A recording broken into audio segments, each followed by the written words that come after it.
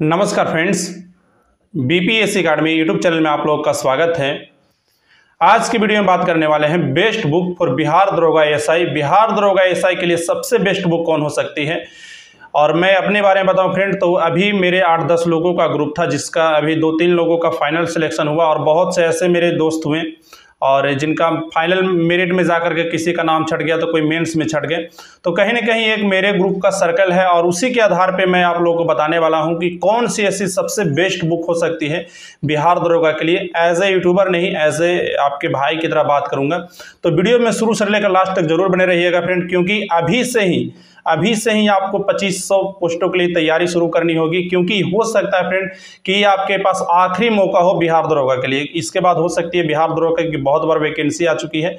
तो हो सकता है कि इस बार से ज़्यादा फिर वैकेंसी ना दी जाए। तो सबसे पहले देख लेते हैं फ्रेंड कि आखिर कहाँ से प्रश्न इसमें पूछे जाते हैं। तो इसमें जो प्रश्न पूछे जाते हैं आपके हिस्ट्री से ज्योग्राफी से पॉलिटी से इकोनॉमिक्स से साइंस से करेंट अफेयर से, बिहार स्पेशल से और मैथ से प्रश्न पूछे जाते हैं। यहाँ पे रीजनिंग के प्रश्न नहीं देखने को मिलते हैं।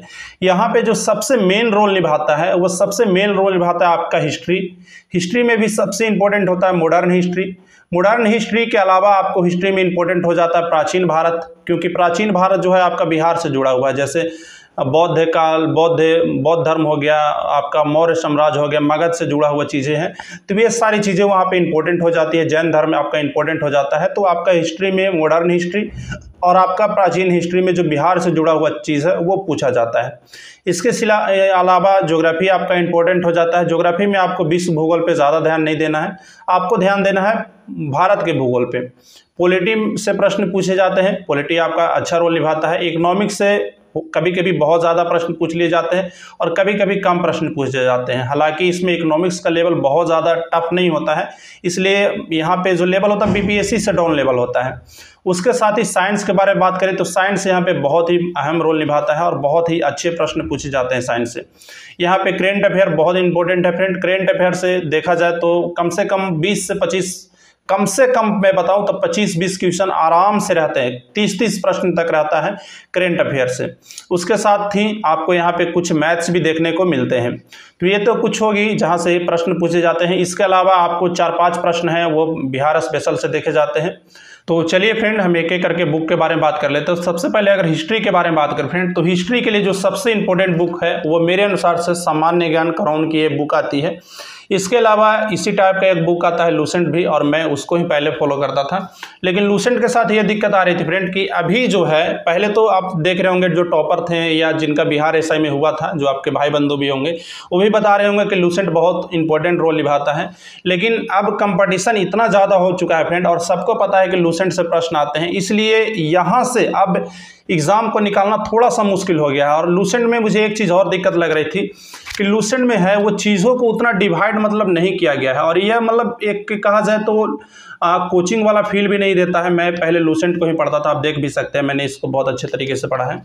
तो आपको क्राउन में क्या होगा? पहली नंबर की आपको यहाँ पे उससे ज़्यादा डिटेल में दिया हुआ है।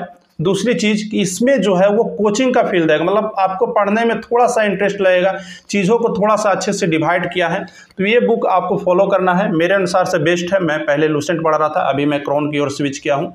तो ये बुक आपके लिए इंपॉर्टेंट हो जाएगा। इस बुक से आपको क्या करना है? हिस्ट्री करना है जोग्राफी करना है पॉलिटी करना है इकोनॉमिक्स करना है। उसके साथ ही आपको इन सारे चीज़ों के साथ आपको हमेशा एक ऑब्जेक्टिव बुक को फॉलो करना है फ्रेंड आप सब्जेक्टिव करेंगे, उसके बाद उसी चैप्टर का आपको यहाँ से ऑब्जेक्टिव प्रैक्टिस करना है। सेम चीज़ आपको यहाँ पे मिल जाएगा और इससे क्या होगा कि आपका सब्जेक्टिव और ऑब्जेक्टिव दोनों एक साथ क्लियर होते चलेगा। जैसे मैं आपको बता देता हूँ, मान लीजिए कि आपने यहाँ से पढ़ा, एक मिनट, यहाँ से मान लीजिए आपने पढ़ा मराठों का उत्कर्ष। तो आप क्या करेंगे? यही सेम टॉपिक को आज आपने यहाँ से सब्जेक्टिव पढ़ा, इसके बाद आप इसका यहाँ से ऑब्जेक्टिव कवर कर लेंगे। इससे क्या होगा कि आपने जो भी पढ़ा है, वो सारा आपका एक साथ क्लियर हो जाएगा और आप इसे भूलेंगे नहीं। नहीं तो मैं बहुत से ऐसे स्टूडेंट को देखता हूँ, जो पढ़ते तो बहुत है, लेकिन उसका रिवीजन नहीं करने से, उसका प्रैक्टिस नहीं करने से, वो चीज़ें उनके याद नहीं रहती है। तो डिपेंड यह करता है फ्रेंड कि आप कितना पढ़ रहे हैं, ये इंपॉर्टेंट नहीं है। आप उस चीज़ को कितना याद कर रहे हैं, ये इंपॉर्टेंट है।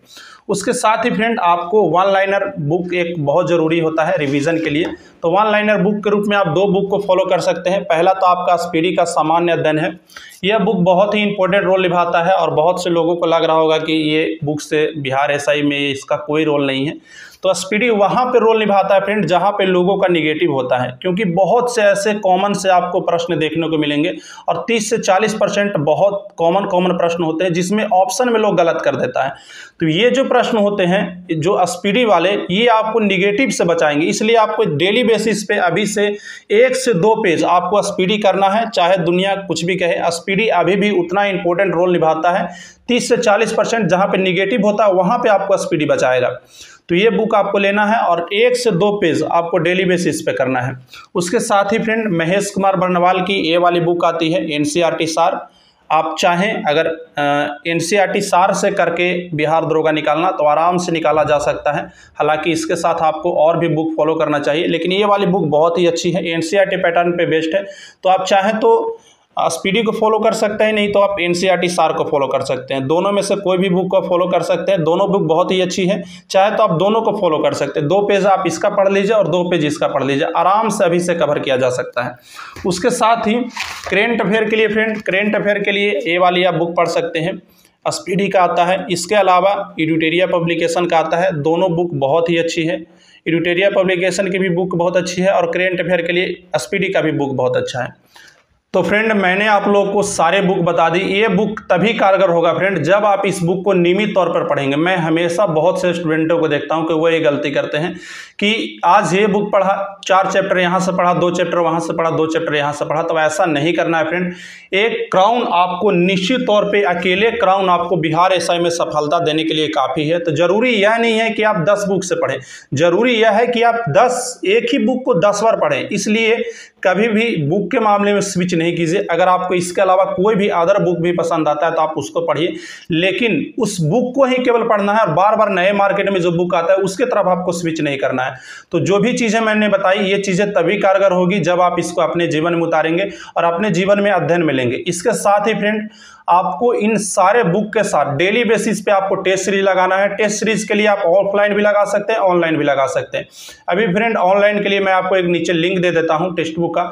वहाँ पे आप एक टेस्ट पास बाई करेंगे और ऑलमोस्ट जितने भी एग्ज़ाम हैं, चाहे आप बिहार दरोगा का हो, बिहार एसआई का हो बीपीएससी का हो, सारे का आप एक ही प्राइस में आप बाई कर सकते हैं और बहुत से टेस्ट सीरीज़ आपको फ्री में भी मिल जाएँगे।